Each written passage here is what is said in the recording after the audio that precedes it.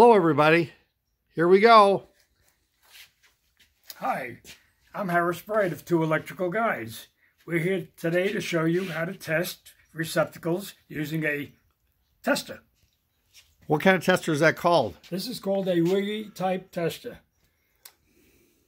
And so this first receptacle has a GFCI on it. If I plug my tester in, now notice it's not going in too easily and that's because it is a tamper-proof receptacle. This is the new type of receptacle where you can't put one probe in without putting the second one in at the same time. So this is a tamper-proof receptacle. You're going to find that on all the new installations today. So putting this in together, because it's a little hard, there we go. It's showing that it's 120 volts. If I go from the small slot, which is a live wire, to a ground, I tripped the GFCI. Now the small side, is that is that something called polarized? Yes, this is a polarized receptacle, and the small slot typically is always the live wire.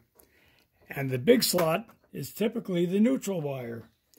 And so that's how you can identify what is supposed to be correctly wired.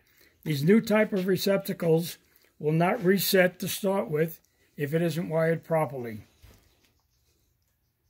Well, let's go ahead and see what uh, what's number two got for okay, it. Number two, let's plug it in. First into the, looks like it's look good in there. Uh, if I go to ground, whoop, I tripped the receptacle. So one GFI can control many. Yes, it can control up to up to 10 at times. Is it 8 or 10? 10.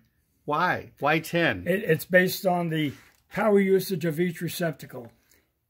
Each each circuit is rated at a different amount of amperage and based on 180 watts per receptacle, you could put 1800 watts on one circuit. Now if we multiply 120 times 1800, and I don't have the number. it's just math. We'll move on. Yeah. Anyhow, this receptacle happens to be wired properly. I go to number three. I'm going to plug in number three, and number three showing 120 volts. And I'm going to go to ground. I'm not reading anything. I'll go to the screw.